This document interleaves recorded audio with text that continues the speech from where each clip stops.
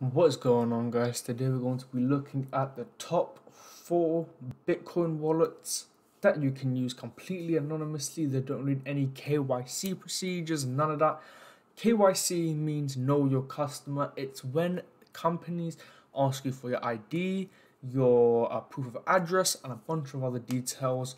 Now, this is very important when it comes to Bitcoin because Bitcoin is uh, widely used for laundering money, for criminal activities, etc. But these are ways you can bypass those things. Not really bypass, but you just don't need to do that. So we're going to be going through one by one of each um, different wallet. Now these are in no specific order. Please keep that in mind. Um, I'm going to be ordering them. They're, they're in an order, but they're not in an order, guys. I'm going to be ordering them by my favorite, but um, you guys uh, need to know that these aren't ordered from ratings. So I'm not saying that one's better than the other just by the order. This is just my personal preferences and based on what I've used. Now, the first wallet that I'm going to recommend to everyone is the Electrum Bitcoin wallet. Now, this wallet is insane, guys. I've been using it for years. Um, well, not years. I've been using it for like a year now. Uh, it's really, really, really, really good, guys. Honestly, uh, personally, I use the portable version on my external hard drive so that, you know, it's portable, guys, um, and it works perfectly fine. However, with these wallets, please keep in mind, guys, with all of these wallets, you cannot buy crypto, guys. Buying crypto requires KYC. So, these are just for storing, sending, etc. Um, and receiving. You know, you're not going to be able to buy crypto with these. If you want to buy crypto, you're going to have to use another exchange that may allow you to, or use someone that may allow you to. I've got another video on my channel if you guys want to go check that out. Um, also, before we get into the rest, go check out my fucking Twitter, guys. Don't fuck around, okay? Now, um, with Electrum, personally, I think if you're a beginner, if you're an expert, whatever the hell you are, Electrum is the way to go, okay? It's, it's insane. Let you customize how much fees you pay and even more, guys. Honestly, I cannot stress how good this wallet is. I recommend it for every single person, guys. The next one is Exodus. Now, once again, I've used Exodus. I don't like this wallet at all.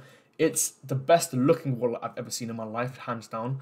Um, it lets you store every single, not every single, but I don't know if it lets you store every single, but it lets you store a shit ton of altcoins as well and other cryptocurrencies. Um, so you guys can definitely go and check that out.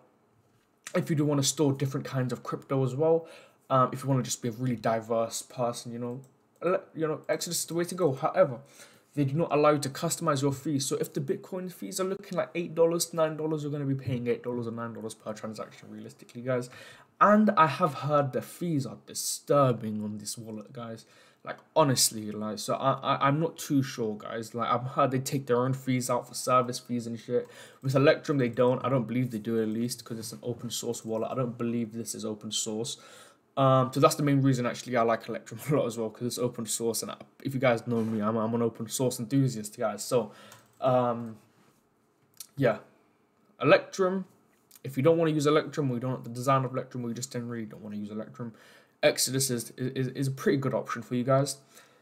Another another ex- excellent option, hands down, probably one of the best wallet Bitcoin wallets you can use is Trezor. Now, Trezor is an actual hardware wallet, so it's an actual device that is a real Bitcoin wallet.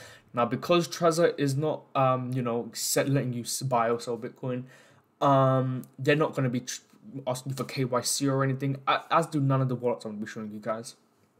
So, um, you can use it completely anonymously. Um, the devices are pretty good. I've never used it before, guys. I don't plan to use Trezor. I plan to stick with Electrum.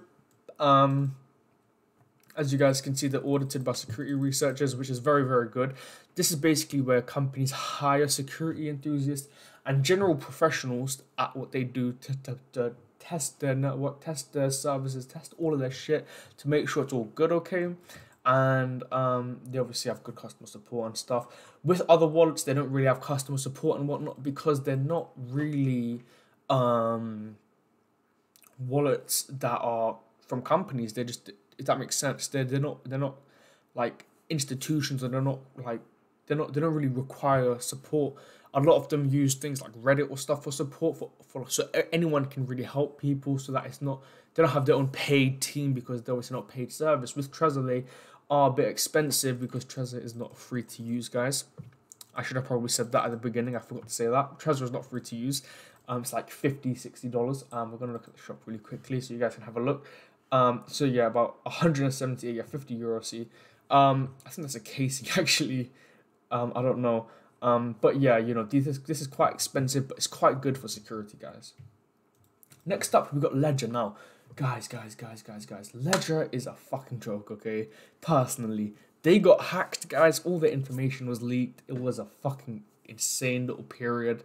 We're not gonna we're not gonna talk too much about that, but and I don't think it had anything to actually do with the initial wallet. Actually, I think it does because people purchased wallets and shipping information was leaked. So you guys, I I put this last for a reason.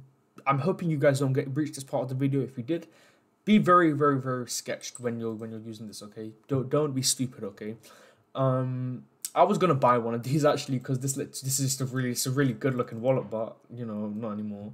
Um, definitely, if I do purchase this, I'm going to be doing it under a completely different identity. I'm not going to be risking it with with, with these folks. Um, but obviously, you guys will have to take your own risks with with Ledger. But Ledger is another hardware wallet. It does cost about the same amount as Trezor, really. Um, personally, Ledger is better than Trezor in, in regards to functionality and shit, in my opinion. But, but, but, if you guys are looking for hardware, Trezor is the one. Trezor has, has, has always been on top, really, guys, um, when it comes to hardware wallets, and, and I do recommend them thoroughly. But, guys, this looks like it's going to be the end of the video. So if you guys did enjoy, drop a fucking like, follow my Twitter, guys. I'm not gonna ask you guys again, okay? So subscribe to all of that fucking shit, okay? I want you guys to, do one thing for me, okay? One thing for me. If you have a question, don't comment. Don't fucking comment. Message me on one of my social medias, guys, because I'm not gonna fucking reply to your comments. And if I do reply by some miracle, guys, it likely will be a reply saying contact me on one of my social medias. So contact me on our social medias, and we will, we will I'll help you guys there, okay? But other than that. I appreciate your time.